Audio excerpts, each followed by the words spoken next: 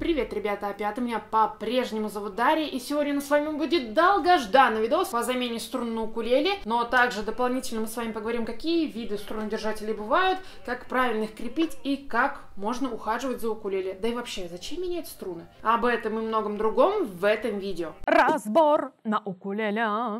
Для начала, для чего же мне нужно менять струны Дарья? Как и всему в этом мире, струнам тоже свойственно изнашиваться, и если вы очень долго играете на укулеле и ни разу не меняли струны, то ваш звук становится очень тусклым, очень таким... Не очень, я бы так сказала. Естественно, когда вы играете и их зажимаете, струны ваши изнашиваются, становятся какой-то шероховатой поверхностью. Также это влияет на звук. Звук становится более тусклым и невыразительным. Может вообще произойти такое, что вот вроде бы вы настроили укулеле, вроде бы каждая струна настроена на нужную ноту, но в совокупности непонятно как звучит. Это тоже одна из вариаций, почему тебе нужно поменять струны. И если вы купили вот прям такую базовую дешманскую модель за полторы тысячи рублей, как я люблю говорить, да, дрова, лучше сразу поменять струны, потому что укулеле стоит полторы тысячи рублей, то какие струны на нее поставили, вот тут вот возникает вопрос. Поэтому сегодня я тебя научу правильно менять струны. Но нужно понять, что струны на укулеле, они намного эластичнее и прочнее, чем на гитаре. То есть у тебя не может произойти, что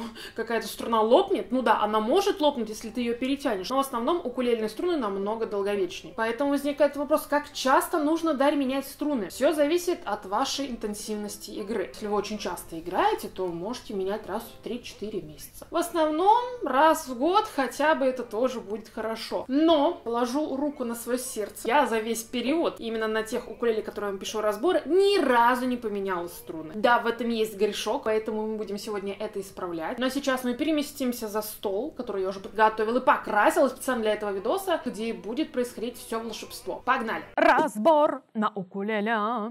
И для начала что нам понадобится? Собственно, сама укулеле. Самое важное это струны. Причем струны вы выбираете в зависимости какого типа укулеле. Если у вас тенор, берете тенор. Для сопрано и концерт существуют такие вот и для сопрано, и для концерта, или конкретно. То есть струны для концерта или струны для сопрано. Но мы будем пока менять на теноре, поэтому берем именно комплект для тенора. И для сегодняшнего ролика струны мне предоставил музыкальный магазин Schiff Music, где вы можете найти огромный выбор укулеле и различных инструментов на любой вкус, цвет и кошелек. Ну а также помимо этого инструмента, как вы видите, есть еще дополнительные аксессуары. А по промокоду Даша Кирпич действует скидка в 5% на любой заказ. Поэтому обязательно приходите по ссылке в описании и заказывайте укулельку или к ней аксессуары. Уже дополнительные штучки может пригодиться, может не пригодиться, но хочу прям сделать полноценную замену струны и настройку. Тряпочку, чтобы удалять лишнюю грязь. Потом есть вот такая приспособление, штучка-дрючка, я ее называю три в одном. Это крутилка для колков, для определенного струнодержателя, мы об этом тоже сегодня поговорим, вот выдавали втулок, и также кусачки. Но если у вас нет такой вещи, то вы можете обойтись без нее, а вместо кусачек, когда мы будем подравнивать, отрезать ненужные кусочки струн, возьмите просто щипчики для ногтей, тоже сойдет. Ну а также, чтобы навести марафет моего грифа, я пройду еще лимонным маслом, расскажу, нужно ли оно вам. И для начала, что мы с вами делаем, это устраиваем фотосессию нашей укулеле, а точнее фотографируем вот эти, где струны у нас на клоке натянуты, и сам струнный держатель, потому что мы впервые в жизни вообще меняем это все, и вдруг мы неправильно что-то поставим, потом, Дарья, у меня ничего не получилось, поэтому фотографируем заранее на всякий случай. Теперь нам нужно убрать старые струны. Каким образом? Есть два пути. Вы можете своими ручками сидеть и расслаблять покручивая своей рукой, а можете, берем вот эту штучку-дрючку, я не знаю, как она называется, реально, вот, и снимаем Видите, без лишнего коматоза и телодвижений. Струны я ослабила, причем, заметьте, благодаря вот этой штучке я смогла это намного быстрее сделать, чем я бы сидела и вот крутила прям вручную, потому что крутить вам придется довольно-таки много. Теперь нам осталось это все добро снять. Отлично. Пока у нас есть возможность, мы можем тряпочкой протереть полностью и корпус от каких-то разводов ваших пальчиков, да, от какой-то пыли. И также поухаживать за накладкой грифа, потому что она у нас сделана из дерева. Но если у вас она вообще какая-нибудь travel-версия, которая накладка сделана из пластика, ухаживать, по сути-то, вам так и не надо будет. Берем любую тряпочку, кто носит очки, у них по-любому есть такая типа микрофибра. Если вы не носите очки, то возьмите тряпку, которая не оставляет ворс. Вы можете ее прям слегка намочить, чтобы убрать разводы с корпуса.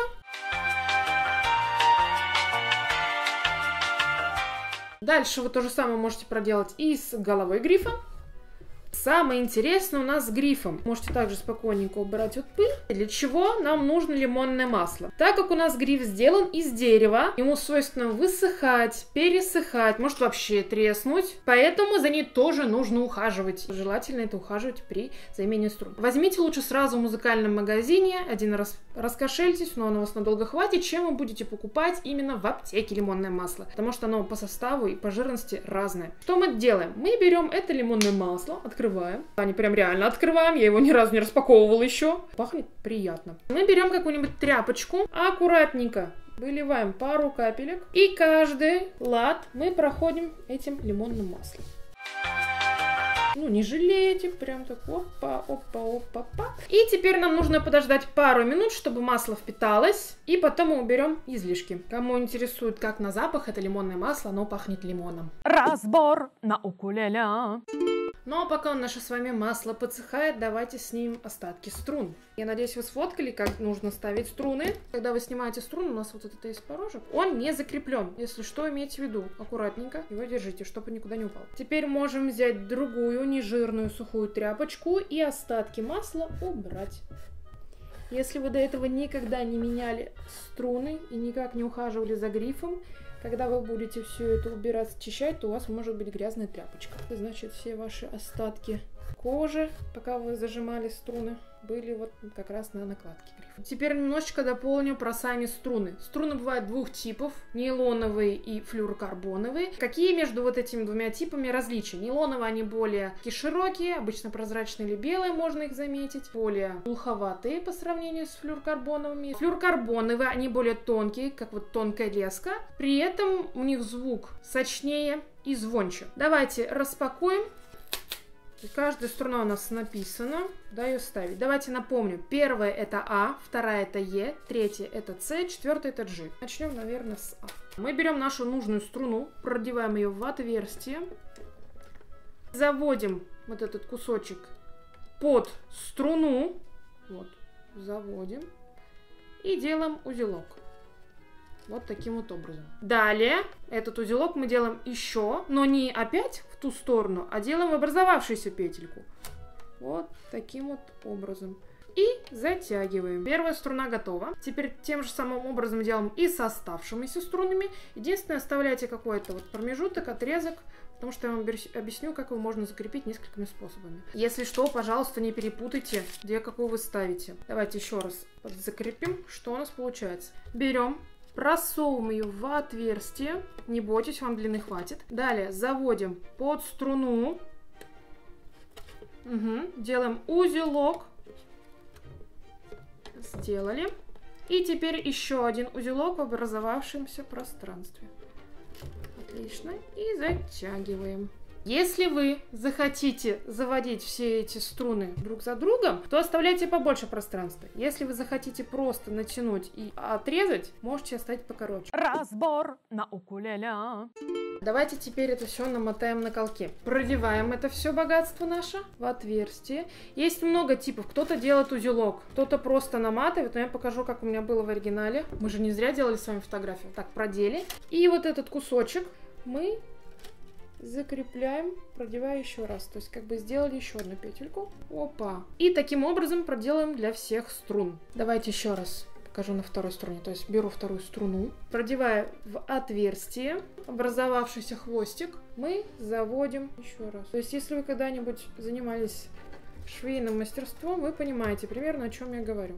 Хоп, Тянули. Пока мы еще ничего не натягиваем, мы просто закрепляем их. И если вы забыли, какую же струну нужно определить в какой колок, мы смотрим на нашу фотографию. Теперь наша с вами осталась задача это все настраивать. Каким образом? Вспоминаем, что у нас счет идет с первой струны по четвертой, то есть снизу вверх. Раз, два, три, четыре. По-другому А, Е, С, G. Но пока что у нас, видите, как макаронины эти струны проседают, поэтому особо настраивать еще нет смысла.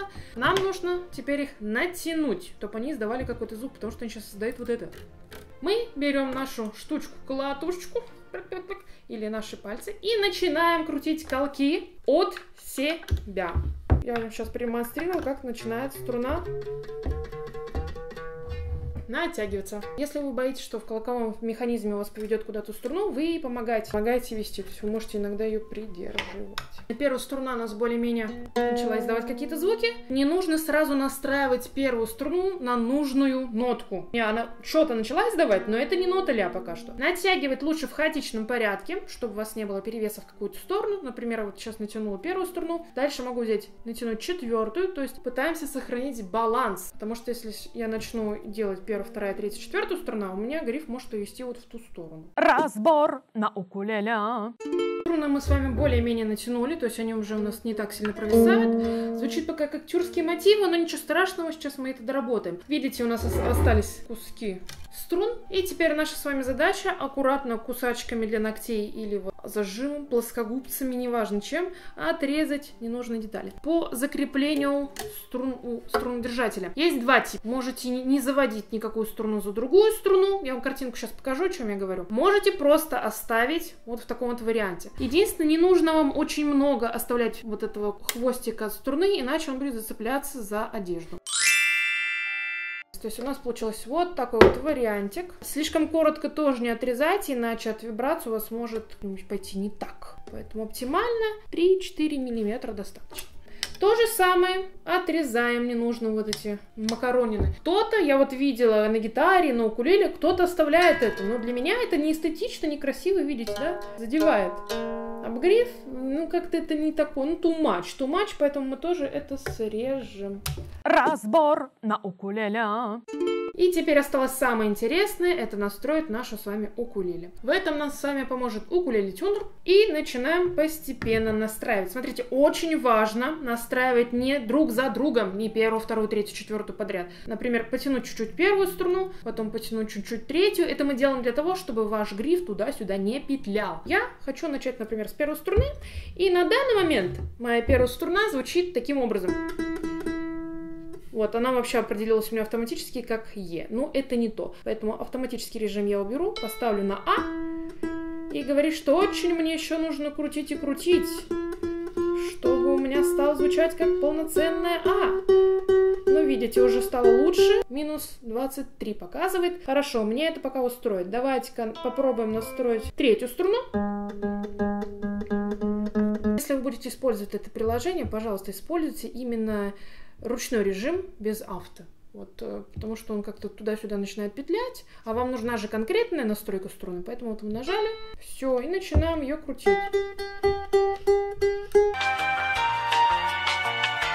Нам показывает, что первая струна настроена, но это пока не точно, потому что во время настройки другой струны, а струны у нас новые, эта струна растянется обратно, то есть она опять будет не строить. И самый частый вопрос, который мне обычно задают, Дарья, я вот купила укулеле, но она у меня не строит, она у меня вечно расстраивается, что мне делать? Это нормально, потому что струны у вас новые, еще не растянулись, и дайте им какое-то время настояться, растянуться. Для этого почаще просто настраивайте. До занятия, во время и после занятия. Первое время, это, наверное, где-то ну, недельку-две. Все зависит, конечно, от интенсивности вашей игры, поэтому настраивайте как можно чаще. Я успела настроить укулеле, звучит она пока примерно так уже более-менее что-то похожее. Единственное, опять же, нужно будет некоторое время, чтобы струны растянулись, и она всегда держала строй. Если ваша укулеле уже давным-давно с вами, но она все равно постоянно расстраивается, скорее всего, дело в колковом механизме. Вот что держит колки? Вот, вот эта штучка. Поэтому можете отдать ее к мастеру. Довольно-таки бюджетная модель у вас укулеле, и на ней стоят хлипенький колковой механизм, поэтому, скорее всего, дело в нем, его лучше просто поменять. Разбор на укулеле.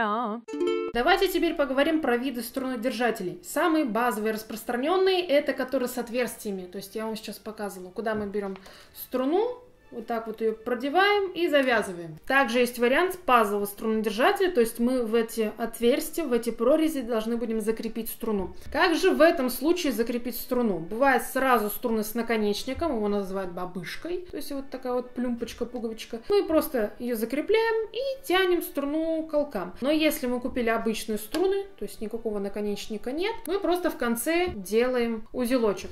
Но если у вашего пазового струнодержателя слишком большие вот эти вот разграничения, вот эти вот пазы, что мне делать, Дарья? Вы можете просто взять, сделать двойной узелок, или там бывают разные виды узелков, как я поняла, там типа восьмерка, не восьмерка, тоже можете сделать, то есть помощнее вот эту бобинку, чтобы ее закрепить. То есть берем этот узелок, вставляем в это отверстие, можем для лучшего скажем так, сцепление помочь, может быть, стержнем от ручки. Вот это затолкать туда. И дальше струну ведем колкам. То есть тоже несложный принцип. Пробуйте. Также существует другой вид струнодержателя. Единственное, у меня на всех моих инструментах такого нет. Но давайте я вам на пальцах постараюсь объяснить и при помощи картинок. А, он называется пробковый. По-другому там вот эти бабышки, пробки, втулки, шпингалеты. По-разному называют вот эти крепления. Суть какая? Вам нужно их вытащить вот эти вот заклепочки. И как раз вот эти закрепочки, они держат вашу струну. Струна должна быть тоже с наконечником. Суете туда струну и вот этим шпингалетом ее закрепляете. И она у вас не падает. И последний вариант струнодержателя, которому может попасться, он сквозной. Тут все намного интереснее. Как закреплять струну? У вас опять должен быть наконечник или созданный, или вы сразу купили с наконечником эти струны. Ваша задача снутри просунуть струну в отверстие, а вот этот вот наконечник, получается, закрепляется за дек. И все, спокойно вы тянете, эту струну, к колку. То есть вот у нас есть четыре варианта, которые у вас могут быть. Но ну, а если вы не хотите заморачиваться с тем, что я вам перечислила, сразу берите просто укулельку с классическим типом струнодержателя. Разбор на укулеле.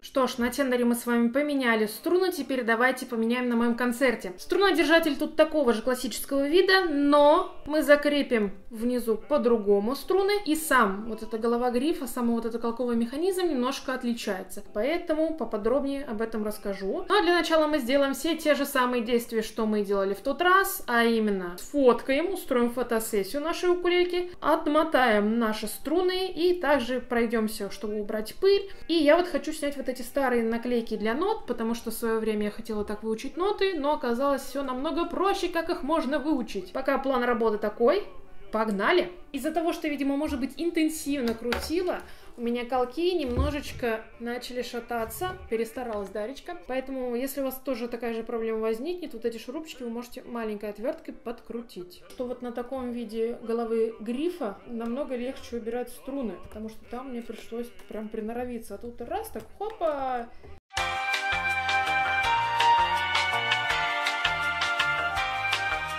И пока далеко я не уходила, может у вас возникнет вопрос, Дарья, а влияют ли как-то наклейки, вот которые ты наклеила, на качество звучания? Вообще никак нет. Мне кажется, это укулеле, это как Моргенштерн в свое время набил татухи на лице, вот на укулеле выглядит то же самое. Но, видимо, в то время, это был, наверное, 16-17 год, я прям хотела обклеить укулеле, вот, пожалуйста. Ну а так, на вкус и цвет все карандаши разные, если хотите клейте, если не хотите портить эстетический вид этого прекрасного инструмента, ничего не делайте. И перед тем, как убирать пыль, давайте я уберу вот эти все наклеечки.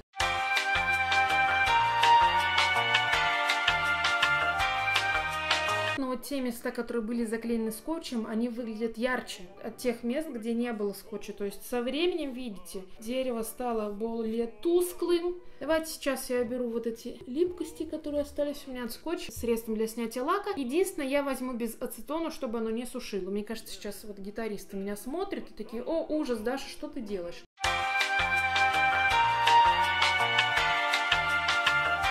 Смотрите, сколько грязи осталось, ужас какой. Причем, заметьте, видно окисление вот этих вот порошков ладовых и струн. Вот, поэтому, ребята, вовремя, пожалуйста, меняйте струны, чтобы у вас такого ужаса не происходило. Теперь, чтобы наша древесина не высохла, пройдемся маслом.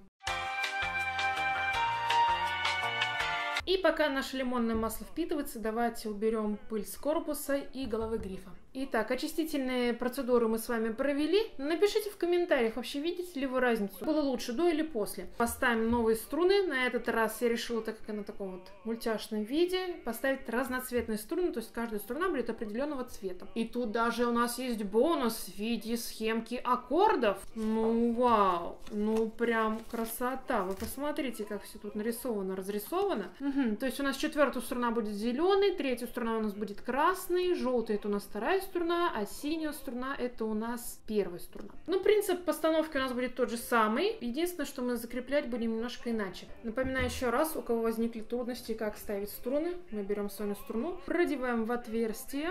Да, единственное, в этот раз можно побольше оставить, потому что мы будем заводить. Дальше мы делаем вот этот образовавшийся кончик под нашу длинную струну и выводим как узелок. То есть вот такая вот петелька у нас должна с вами образоваться. Вот теперь вот этот вот хвостик коротенький и еще раз продеваем, чтобы образовалось примерно вот так. Образовавшийся хвостик у нас должен смотреть в сторону, желательно как-то вниз, ну то есть никак не наверху. Наверху у вас он не должен оставаться.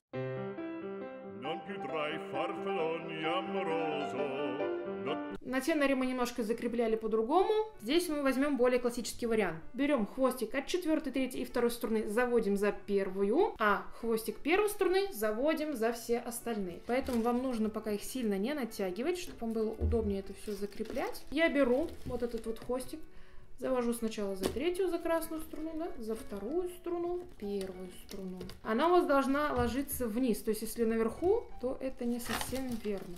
Дальше берем нашу с вами третью струну, заводим за вторую и первую. Так, ну и вторую струну, получается, за только первую струну. Теперь первую струну мне нужно завести за все остальные.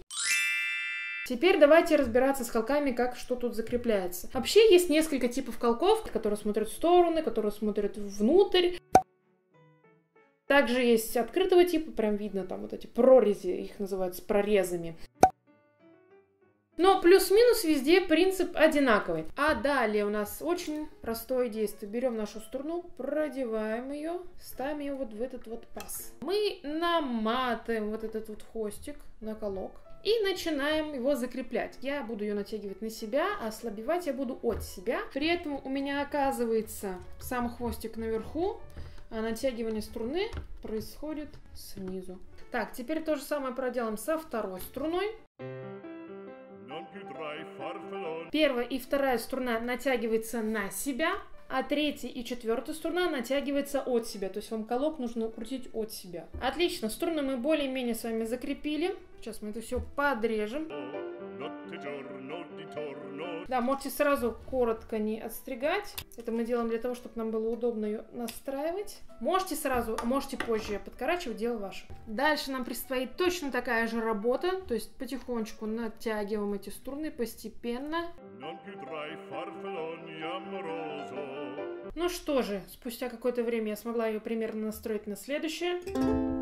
Уже что-то более-менее похоже, но опять же нужно время, чтобы немножко растянулись струны и как можно чаще их надстраивать. Ну как-то так, замена струн у нас прошла успешно. Если тебе был полезен этот видос, я думаю, что он был супер полезен, то обязательно напиши в комментариях. Поддержи этот видос лайком, чтобы YouTube видел, что этот видос стоящий и продвигал его в топ. Девочка в тренде, девочка в топ. Ну а если ты хочешь поддержать мое укулеле творчество, то можешь мне помочь в финансовом плане. Достаточно задонатить любую сумму на донат адрес или подписаться на Boosty. Вот как делают все эти ребята. Спасибо им огромное за это. Взамен они получают клевые ништяки и весь раздаточный материал. Ну а меня по-прежнему зовут Дарья. Скоро увидимся. Пока.